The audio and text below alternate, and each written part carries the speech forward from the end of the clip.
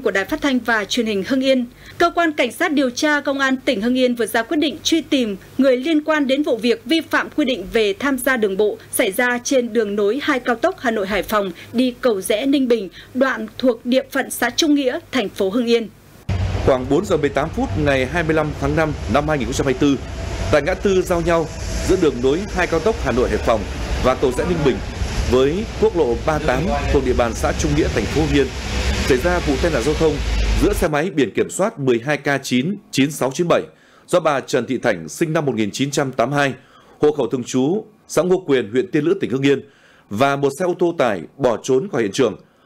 Hậu quả, bà Thành chấn thương cấp cứu tại bệnh viện hữu nghị Việt Đức. Để phục vụ công tác điều tra, đề nghị những ai biết nội dung diễn biến vụ tai nạn cũng như thông tin về đối tượng điều khiển xe ô tô trong vụ tai nạn giao thông có đặc điểm nêu trên thì thông báo cho phòng cảnh sát giao thông công an tỉnh Hưng Yên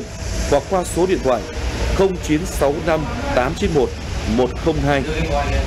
Nhằm đảm bảo an toàn giao thông, an ninh trật tự trên địa bàn, thời gian qua Công an huyện Khói Châu đã xây dựng kế hoạch thường xuyên tăng cường tuần tra kiểm soát, xử lý các hành vi tụ tập đông người, điều khiển xe mô tô lạng lách, đánh võng, gây rối trật tự công cộng.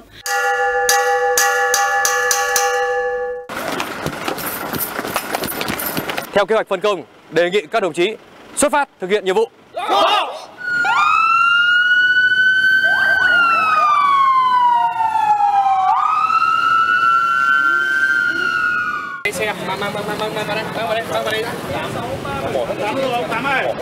Tôi đang có mặt tại một trong nhiều điểm chốt trên địa bàn của huyện Quái Châu thuộc tổ công tác 1882 công an huyện Quái Châu. Chỉ trong ít giờ thì nhiều phương tiện tham gia giao thông đã bị dừng và xử lý.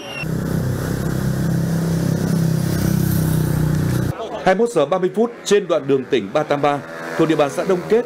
không mũ bảo hiểm, kẹp 2 kẹp 3. Nhiều phương tiện đã quay đầu xe khi thấy lực lượng chức năng làm nhiệm vụ. Một số sẵn sàng liều lĩnh rú ga với tốc độ cao nhằm vượt qua chốt, bất chấp hiệu lệnh dừng xe kiểm tra của tổ công tác. Xe em không có gương chiếu hậu này, không gắn biển kiểm soát này, em không được mũ bảo hiểm khi tham gia giao thông này, không có bất cứ loại giấy tờ gì đây nhá. Em nay vợ đi ra ngay chỗ Đông Phết. Thế sao xe không có biển số? Xe của em là bị mất biển ạ. Một số người điều khiển phương tiện khi bị lực lượng chức năng kiểm tra về nồng độ cồn đã vi phạm vượt mức quy định cho phép như người đàn ông này. Anh điều khiển phương tiện trong hơi thở có nồng độ cồn vượt quá mức quy định cho phép là 0,518 mg trên lít khí thở nhá.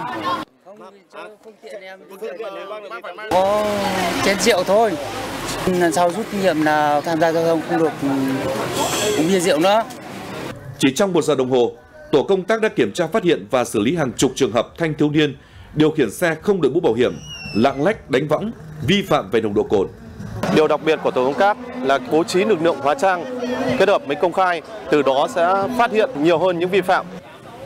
Tổ công tác 1882 Công an huyện Quai Châu được thành lập gồm đội cảnh sát giao thông, trật tự, cảnh sát điều tra, cơ động, phối hợp với công an xã thị trấn, xây dựng kế hoạch thường xuyên với yếu tố đột xuất bất ngờ tại các tụ điểm, tuyến đường tiềm ẩn nhiều nguy cơ tụ tập đông người, điều khiển xe lạng lách đánh võng gây rối trật tự công cộng. Trong tháng 4 và tháng 5 vừa qua, Công an huyện Khoai Châu đã thành lập 4 tổ tuần tra kiểm soát với 120 cán bộ chiến sĩ tham gia, kiểm tra trên 200 phương tiện, phạt tiền gần 170 triệu đồng, tước hai giấy phép lái xe, phạt tiền gần 30 triệu đồng do vi phạm về nồng độ cồn. Chúng tôi tập trung xử lý với quan điểm không có vùng cấm, không có ngoại lệ để răn đe, giáo dục, tạo sự chuyển biến về nhận thức, ý thức chấp hành thượng tôn pháp luật khi điều khiển phương tiện tham gia giao thông. Nhằm đảm bảo an ninh trật tự an toàn giao thông trên địa bàn, thời gian tới Công an huyện Quai Châu tiếp tục tăng cường thực hiện kế hoạch của tổ công tác 1882, tăng cường lực lượng công an hóa trang tập trung tại các tuyến đường, tụ điểm tiềm ẩn nguy cơ tập trung đông người, nhất là tình trạng thanh thiếu niên điều khiển xe mô tô lạng lách đánh võng, không chấp hành luật khi tham gia giao thông, xử lý nghiêm các hành vi vi phạm với quan điểm không có vùng cấm, không có ngoại lệ. Qua đó, góp phần ngăn chặn kịp thời cũng như hình thành thói quen chấp hành pháp luật khi tham gia giao thông trong quần chúng nhân dân. Đặc biệt là tình trạng thanh thiếu niên vi phạm pháp luật đang có chiều hướng gia tăng trong giới trẻ như hiện nay. Chuyên mục An toàn giao thông do Phòng Thời sự Đài Phát thanh và Truyền hình Hưng Yên phối hợp cùng với Ban An toàn giao thông tỉnh Hưng Yên thực hiện đến đây xin tạm dừng. Xin cảm ơn và hẹn gặp lại quý vị trong chuyên mục này tuần sau.